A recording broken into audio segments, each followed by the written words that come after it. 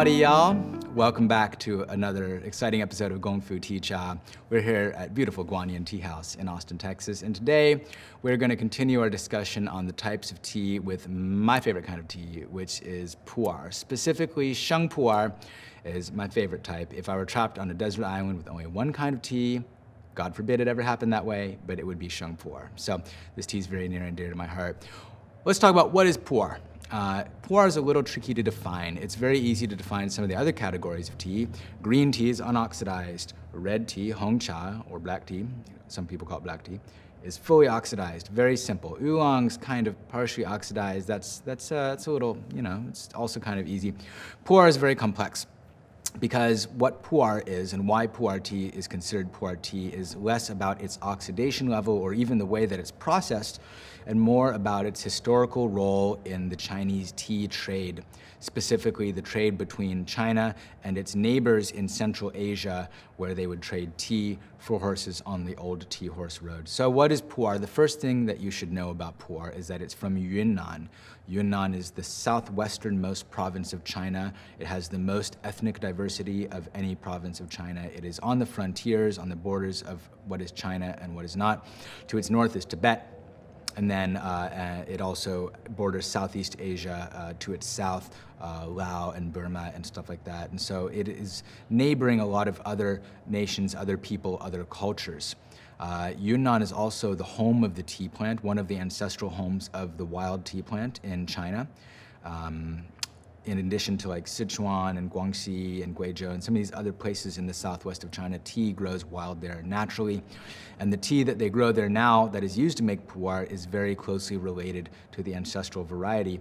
Uh, and we refer to Yunnan tea oftentimes as Dayezhong, big leaf tea plant. That is the breed of tea and that it does have larger leaves. Not all of its leaves are large. The little baby leaves coming out are still little, but it is a much larger leafed tea plant than what we think of the little bushes that we think of like a whole field of tea and these nice little rows of bushes. That's not what pu'er looks like. Pu'er is tall trees. They grow tall, especially when they're old. You have hundreds, even more than a thousand year old tea plants in Yunnan, and they get tall. You actually have to climb up in them to pick the tea. They look like a little tree, and that's a fun part of picking pu'er tea that you don't have to do with other types of tea, is that you actually get to climb up in the tree.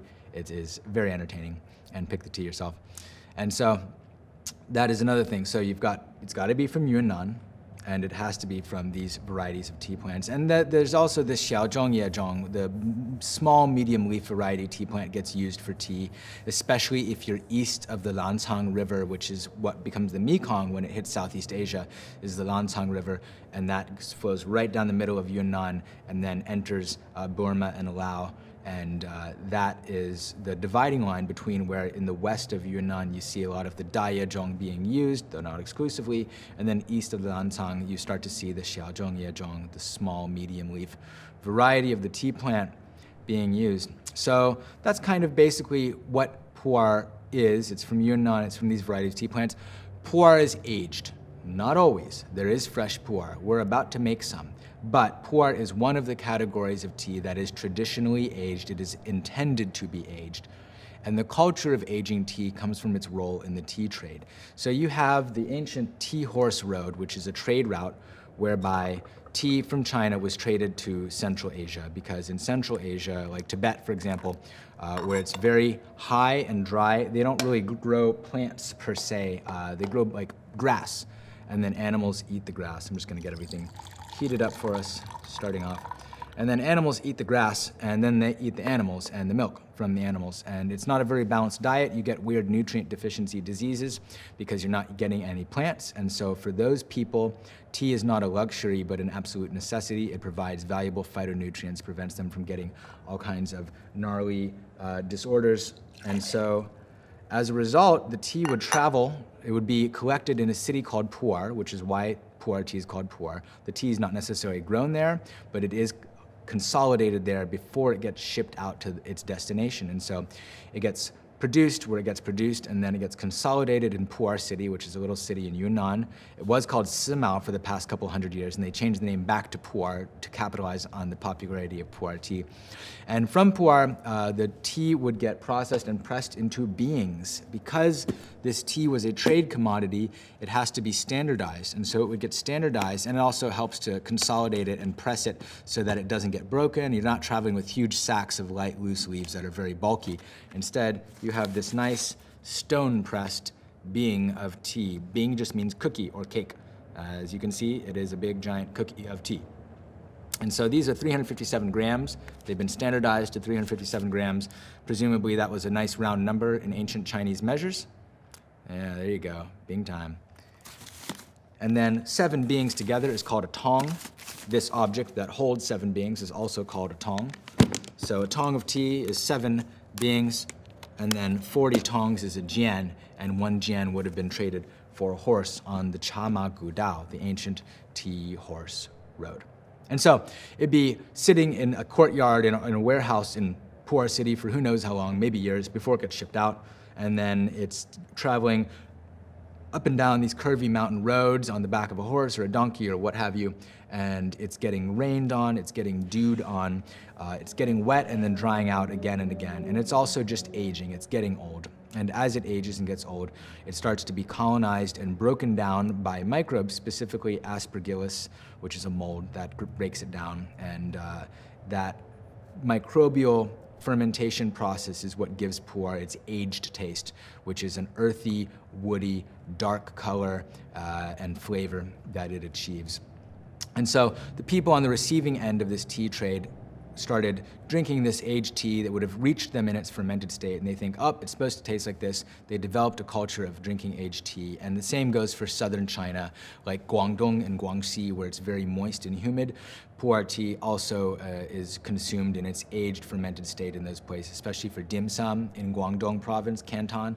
They love to eat dim sum, and they always love to drink pu'er tea, dark, earthy, aged pu'er tea with that process. And so the, uh, the culture of aged tea uh, sort of revolves around um, taking these cakes or bricks or whatever shape the tea is in and putting it away and letting it get old and then drinking it in its aged state.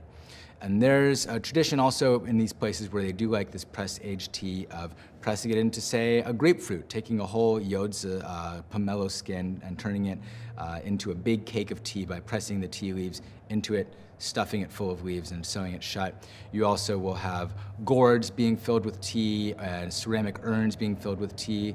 There is a tradition of a dowry tea, which is when your daughter is born, you take a bunch of nice tea, you bury it under the courtyard, and leave it there for the next 20 years. And then when she's ready to get married, you dig it up, and then you have this nice batch of aged tea that is very valuable, and that's your daughter's dowry.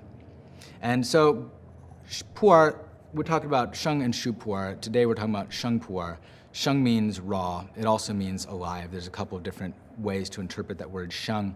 But what it really means is that sheng pu'er is tea that is produced more or less like green tea and is not intentionally fermented before it is sold. Uh, that's shu pu'er, and that was developed in the early 70s. And we'll talk about that in a whole other episode. But sheng pu'er is produced very similar to green tea, almost exactly like green tea and it has been produced that way for thousands of years. And so the difference between sheng and green tea, sheng pu'er and green tea is, um, you know, it's kind of subtle and nuanced. You can consider sheng pu'er a subcategory of green tea. That said, no one will ever refer to sheng pu'er as green tea. Uh, it is not the, the nomenclature that we tend to use. So what is the difference and how is sheng produced? The way they start off is exactly the same. So you pick the tea early in the morning when there's still dew on the leaves. You go and you take it to the processing facility and you sha qing it, which means you kill the green, heat it in a wok, basically roasting it in a wok with no oil at high heat to uh, denature that enzyme polyphenol oxidase, just the same as green tea. One big difference here is that green tea is going to be cooked at about twice the temperature of sheng pu'er. Sheng pu'er uses a lower temperature than most green tea. Every tea master does it differently, but the tradition in Yunnan making sheng pu'er is to use a lower temperature for firing your, your tea. Um, and then once the tea has been fired to mostly, most complete dryness, almost complete dryness, then it is finished by drying it in the sun. You take it, you sprinkle it out uh, in a very thin layer on a bamboo mat and you dry it in the sun. And that's the other big difference between sheng pu'er and green tea, is that green tea can be dried with hot air, for example, from charcoal, whereas uh, sheng pu'er is always sun-dried, and that's part of its deal. And it can also go through an additional process called rounian, and I've seen this, the Aka people on Nannuo Mountain will do this. They'll fire it once, halfway, shaching it halfway, take it out of the wok, put it on a tray, knead it, kind of twist and knead it, almost like dough, and, um, and do a little bit of this thing and a little bit of this thing, and kind of squish it up a little bit, squeeze some of those juices out, and then it goes back into the wok, gets fired a second time. Those juices that have been squeezed out get cooked onto the tea, cooked into the tea itself, and and they do that for the tea that they're going to consume themselves, and also we get some of that here because we like it. That's their kind of colloquial style of doing that, and they'll they'll process it that way. For tea that's being sold to the market, they'll fire it once, no massaging. Um, but for tea they make themselves, they'll fire it twice with a massaging process in between, and they say it gives it a better flavor. It doesn't look as good, but it gives it a better flavor. In any case, when we're done with the process, whether the tea gets massaged or not, what we end up with is called mao cha, and I'm going to show you what that looks like right here. Mao cha means hairy tea and refers to both the, the hairiness of the leaves themselves, as we know, uh, tea leaves themselves are fuzzy and hairy, but also because of the kind of sticky, hairy, sticking out all over the place situation that we have with these unpressed leaves. So Mao Cha is freshly processed sheng pu'er. It has not been pressed, it has not been fermented, it has not been aged. That's what you call Mao Cha. And we're gonna drink some right now. This particular Mao Cha is called uh, which is the name of the village near the patch where the tea is grown. And this is there are some qualifiers for this tea. It's not just a sheng pu'er, specifically it's gushu cha, which means ancient tree tea. Ancient tree tea uh, comes from trees older than a couple hundred years old. Some say 400 years old is the cutoff point for ancient tree tea. Uh, at any rate, the oldest teas on Nannuo Mountain are 800 years old, and so this tea is from trees in that neighborhood between four and 800 years old. And those, these trees, they grow tall. Their leaves do tend to be big, but they don't have to be big. There are people who are like, well, if it's Gushu Cha, then the leaves must be huge. Well, not necessarily. Even an ancient tree will produce small leaves, especially near the base when you have little branches coming up near the base. Uh, why Gushu Cha? Why ancient tree tea? Well, tea trees, like vampires, become more powerful the older they get.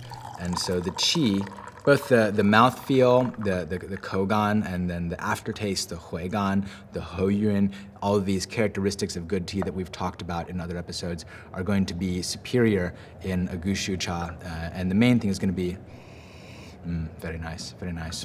The way it makes you feel. Sheng pu'er should brew up golden green like this, not orange a lot of very low quality sheng pu'er that is imported into this country uh, brews orange in color and it is very bitter. I know people who are like, oh no, I never drink sheng pu'er. My tea master says that sheng pu'er is not fit for human consumption. That's not true. Sheng pu'er is great. It's really good for you. People in Yunnan, the tea farmers, drink sheng pu'er all day long and they live to be like 120 and they're dancing on New Year's Day. So, Sheng pu'er is definitely not bad for your digestion. It's definitely not bad for you.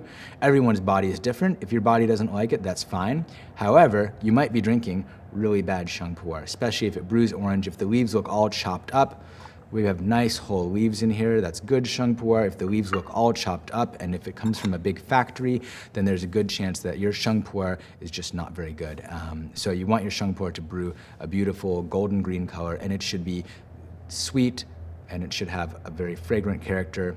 And it does have a bitterness to it. There is a natural bitterness to sheng pu'er, but it should not be overwhelming or, uh, or unpalatable. It should taste good. Sheng pu'er is supposed to be good. So, note that. Um, the process for steeping sheng pu'er, oh, and gushu cha again, to, just to specify, gushu cha, ancient tree tea, uh, that concept didn't emerge until fairly recently in the pu'er market, maybe in the past 20 years. Tea farmers have always been aware that the better, the older the tree, the better the tea. However, the pu'er market was not such that people were harvesting tea from just particular trees. It used to be a whole huge region, like the entire Menghai mountain range, all of the tea from there would be consolidated into one factory, processed together, pressed together, uh, and that's what you get. And so you're getting a whole huge swath of different things. And it's only in the past 20 years or so with the emergence of single farm pu'er that we're starting to see, A, we're starting to see tea from single mountains, and we're also starting to see tea from just ancient trees because it is considered a superior pu'er. And again, this is duoyi zai, which means that it's from one single patch. It's just from the duoyi patch on the very tip top of Nannuo Mountain at about 1950 meters. And as we, the, as the tea, the pu'er market becomes more and more niche and specialized, you are seeing from a whole region and a factory representing that region to a single mountain, to a single farm on the mountain, to a single patch on the mountain, we have tea from the Duoyi patch and the Shito patch and the Banpo patch and the Yako patch. They're all in the same mountain, all the same farmer. They all taste different because the diwei, the flavor of the earth, what some might call the terroir of each patch is a little bit different. And this is the highest patch and makes the sweetest tea. And so those are two qualifiers for this tea. It is gushu cha and it is single patch tea. And so I'm just gonna demonstrate the sheng pu'er pouring technique. A, I like to use a little cooler water because Sheng Pu'er does have that bitter edge to it and has the capacity to get bitter. So I will let my water cool a little, little bit for Sheng Pu'er. This water is actually already cooled because I've been sitting here talking about it for the past five minutes, whatever. So I'm gonna go ahead and just go ahead and go straight and well, I'll go ahead and pour it in here so that it looks like I'm cooling my water because y'all are familiar with that process. And the, the process is gonna be the same as when we did our green tea episode and talking about the, the process of cooling water for green tea. We're gonna smell our leaves. We're gonna feel it out. It smells really good. Wish y'all could smell it. Technology has only come so far, but yeah. It's gonna be the first tea I've drunk all day. I've been getting ready all day long, so I'm like really excited to actually drink some tea. Um, so my water feels about ready. It's probably about 205, maybe even a little higher. I don't go as cool as I do with green tea on, as I do on Sheng Pu'er. Um, Sheng Pu'er, especially fresh Sheng Pu'er, use a little bit cooler water, but not as cool as green. And then when I'm pouring, I'm going to define a handle and a spout for my gaiwan. And you can do this in a teapot, of course. Teapots are great for sheng pu'er. I'm using a gaiwan. This is my dai clay gaiwan from Xishuangbanna. It is just for this kind of tea. And I'm gonna, so where is my handle and where is my spout? My handle, well, my spout is where the tea gets poured out even you know nursery rhyme school children know that and then the handle is the opposite of the spout and so when I pour Sheng Pu'er, um, and this is my friend uh, uh, Xiao Yan taught me this in, uh, he's from Hunan, but I met him in Yunnan. And so him and his whole clique are all about Sheng Pu'er. It's all they drink. If you try to serve them other tea, they'll laugh at you. So they're very, very serious about the Sheng Pu'er. And he taught me this very effective pouring technique for Sheng Pu'er, which is where, like we've talked about in our Phoenix Oolong episode, uh, the, this tea has a chadan, a tea gall the gallbladder of the chi tea. And the chadan is an imaginary spot in the center of the chadi, the mass of leaves. So this mass of leaves is called the chadi. And then the center of that, right in the middle, is the chadan. And that means the gallbladder of the tea. Obviously, tea doesn't have a gallbladder. But the analogy is that when you are butchering an animal, you want to avoid rupturing the gallbladder because it will um, burst and spill bile on the meat and make the meat bitter. Likewise, if you rupture the chadan by pouring water directly onto the center of the leaf mass, it will make the tea bitter. So we avoid the chadan. And when we're pouring sheng pu'er, we avoid the chadan by pouring down the handle. So here on the right side, stage right of my gaiwan is the handle, and that is where the opposite of where the tea gets poured out is. And I will pour into that spot for every single steeping of tea. And it doesn't need very, very long. It's actually pretty fast, especially these first couple steepings because it's loose.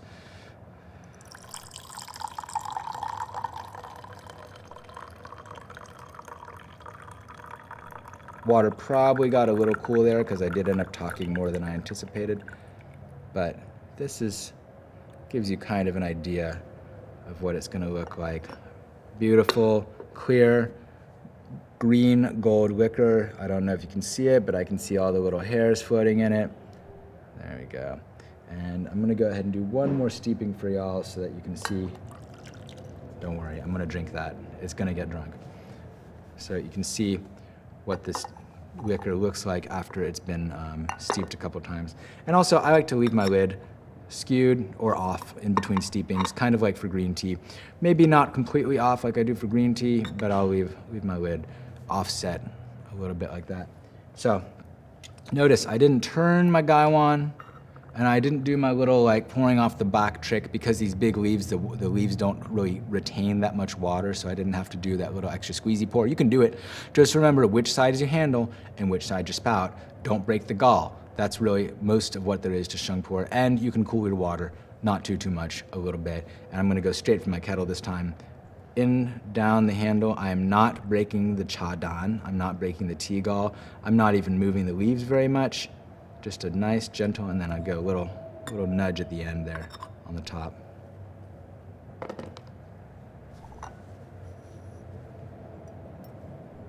Alrighty.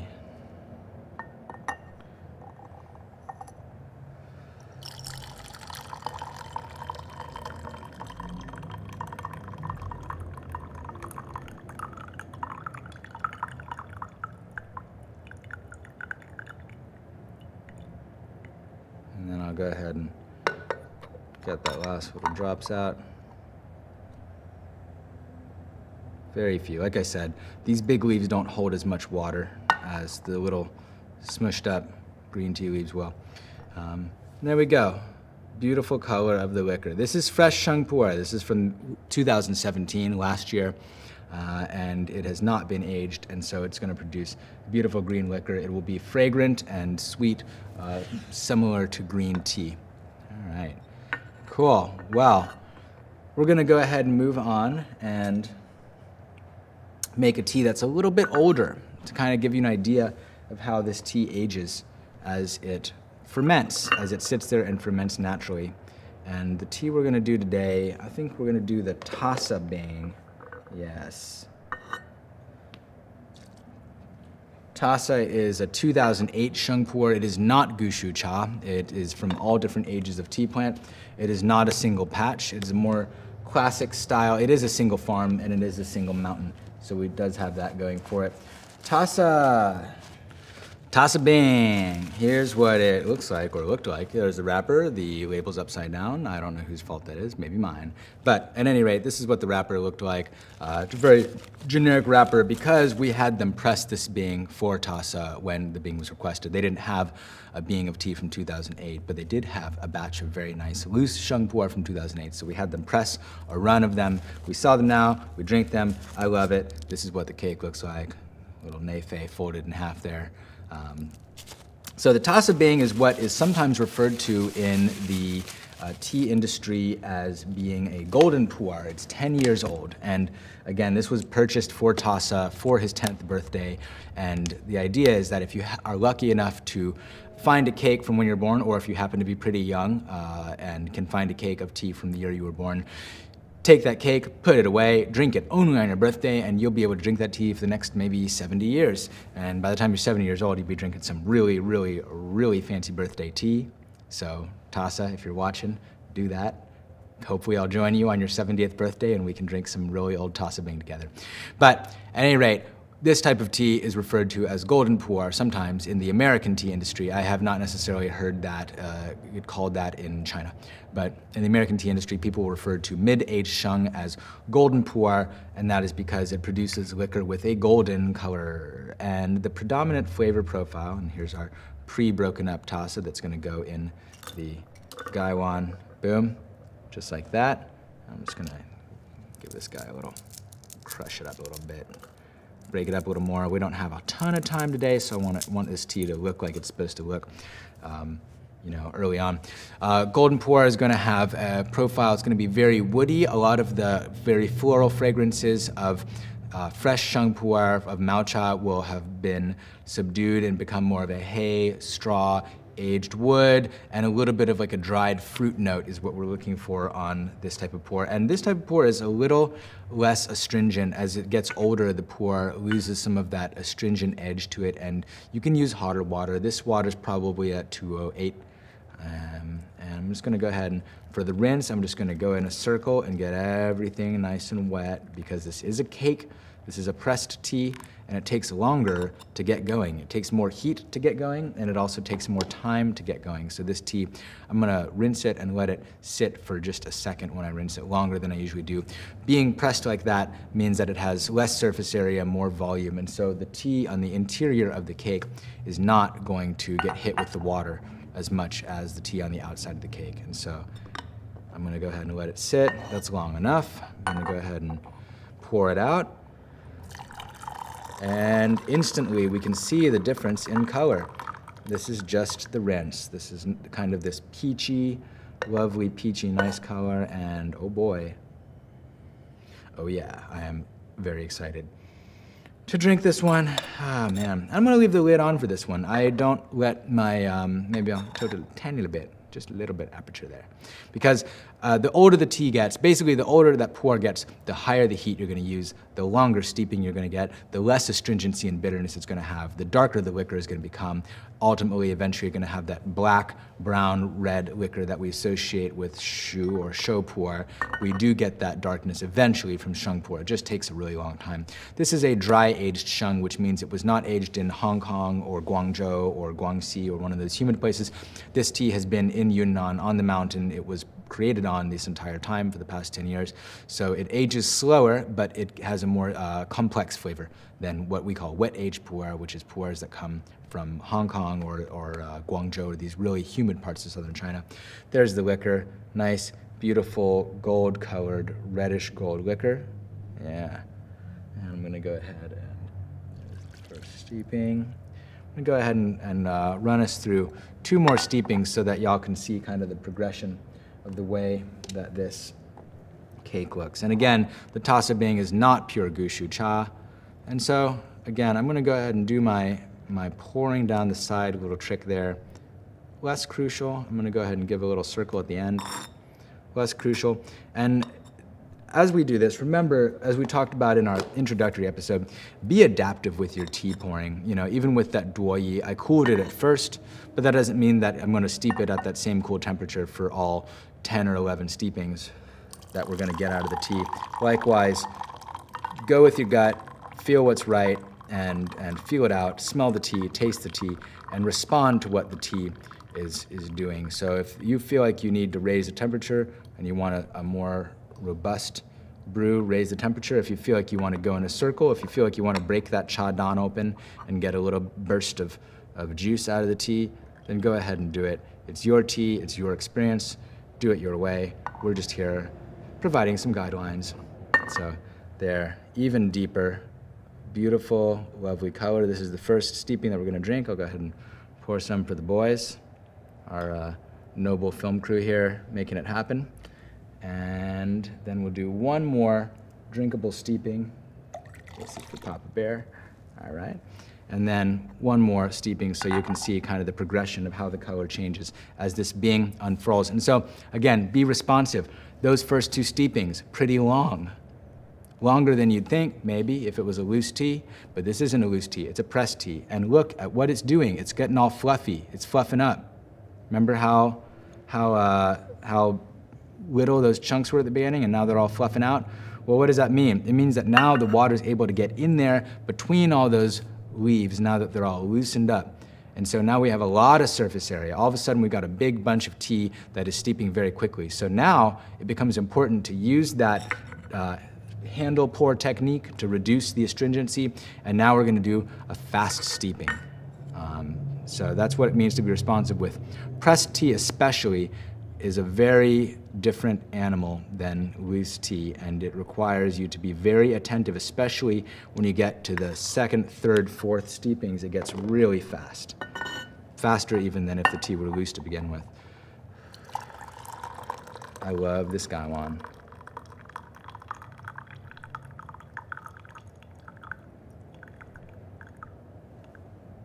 Yes. All right. Beautiful. How about that? And we can just compare the color of the liquor. Same mountain, same farmer, different ages. of tea. This one is last year's. This is 10 years old. Boom. How about that? That's the progression of the color of tea. So there we can see the difference between this 10 year aged tea and this much younger one year age. So just to continue with our trajectory, we're gonna go ahead and dump this out. Don't worry, I will be drinking all of this tea later. No tea is gonna be wasted in the filming of the show. Give this a little rinse here, get it going. And so to continue with our progression, we're going to be uh, steeping an even older tea. Going we started with last year's, then we did a 10 year, and now we're going to do a uh, 18 year old tea, Ling Ling, which means zero zero. And actually this tea is not strictly 18 years old. It's um, from leaves from the year 2000, 2001, and 2002 and 2003, so four years together, and it's what is called the tail of a batch of tea. So you get down to the last couple pounds of tea. It's not enough to sell to one customer in a big batch, and so you keep it and you uh, just mix it with next year's tea, at least back in the year 2000. This is what Li Shulin, who makes all the teas that we've made today, he's my pu'er farmer. Li Shulin uh, started his own operation, his solo operation in the year 2000. Before then, he worked for the Dai factory, previously known as the Menghai factory. These are the folks who invented the process of fermenting pu'er. So he worked there for about 30 years, retired to do his own thing in the year 2000, and part of his first batch, the end of his first batch, got combined with the next, the tail of next three years batches, and that's Ling Ling. It is a big batch of tea, all from the very beginning of the 2000s, from 2000, 2001, 2002, and 2003. So a nice aged tea, and you can see the color of the leaves. The leaves themselves are much darker. And this was produced at a time when the, the, they weren't making Gushu cha, or Li Shulin wasn't making Gushu cha on Nannuo Mountain. So this tea will contain Gushu material. It's not 100% Gushu cha, but it does contain material from old trees. And uh, oh, hold on, need my gong dao bei. Don't want to forget that. Won't have nowhere to pour the tea into. Okay, so I'm going to go full heat with this because this tea is old enough to vote. Well, some of it is anyway, uh, in this country. So I'm gonna go ahead and go full heat. I'm gonna go ahead and give the leaves a little spin around right there. There we go. Be a little more aggressive with my pour. And these loose tea, this was stored loose this whole time, was never pressed, so I'm gonna go ahead and pour it right away. And instantly we have this beautiful gold red color. Oh yeah. and that's our rinse. And so from that warm rinse, it opens up, it gives us our fragrance of our tea, and so now we're getting into that very earthy territory. Now we're getting into that loamy, silty kind of quality that we get um, from when we think of shu pu'er or when we think of very old sheng pu'er. Some of those notes are beginning to appear, but in contrast to shu or shou pu'er, which comes off of the line fermented, this has the earthiness, but it also has a lot of complexity to it. A lot of the floral notes of the fresh sheng pu'er, of that duoyi tea, have remained, and that's the big difference between old sheng and old shu pu'er. As sheng ages, sheng will never become shu or shou pu'er. Sheng pu'er will remain sheng pu'er for its entire life, but as it ages, it becomes what's called mature sheng chen cha. Chen means mature, and any tea that's aged can be called chen cha. You can have chen bai cha, or aged white tea, or you can have chen oolong cha, uh, aged oolong. And, and shu pu'er also will become chen cha if it's old enough. But chen pu'er, chen sheng pu'er, is going to start to resemble in a very superficial way shu pu'er in that it will get dark and earthy, but it will retain some of the complexity and fragrance of a fresh sheng pu'er, which makes it a little bit of a nicer thing for me, I prefer Old Sheng to uh, Shu pu'er. And so I'm going to be a little more aggressive, hitting the center of the leaf mass a little bit and going in a little bit of a circle there. Because this tea is so old, we don't have to worry about it being bitter and astringent. Most of that bitterness and astringency is gone. I'm also going to give it a little longer steep, not because it needs it, but because I like it that way. Um, this kind of old tea can be steeped much warmer and not much longer because we're not worried about making it bitter anymore.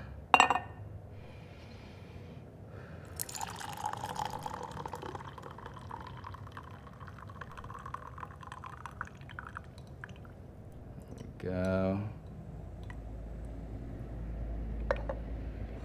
Beautiful.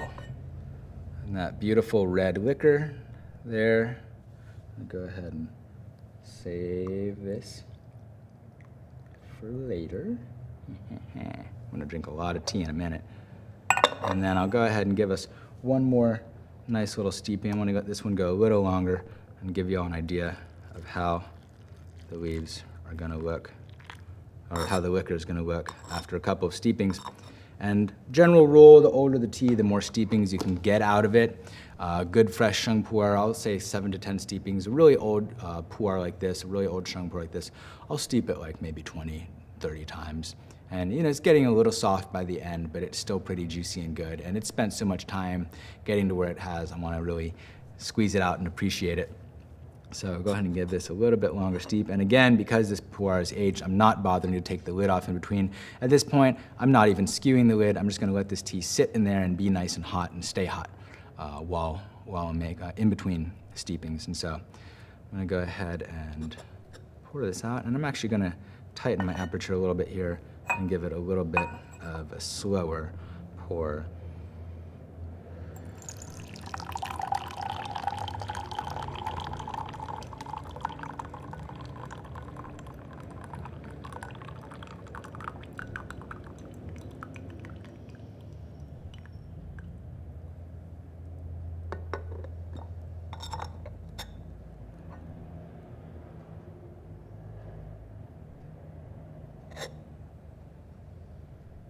There we go.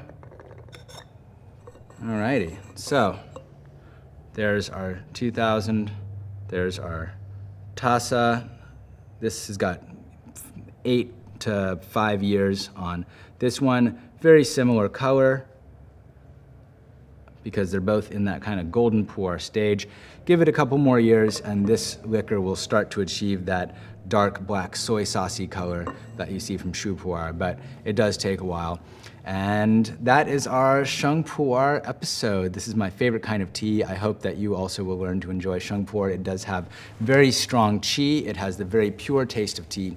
For me, Sheng Pu'er, uh, I love it because whereas an oolong or a, or a hong cha or a green tea might have grassy notes or cacao notes or might taste like uh, tobacco or something like that. Um, uh, all kinds of different characters and flavors we get from the, the diversity of cultivated and highly developed teas. Sheng Pu'er, for me, is the pure and unadulterated taste of tea and the progression as it ages. Thank you very much for joining us. This has been Gongfu Tea Cha. I'm Sohan. This is Guanyin Tea House. And please join us next time for another exciting episode about Chinese tea and tea culture. All right, have a good one.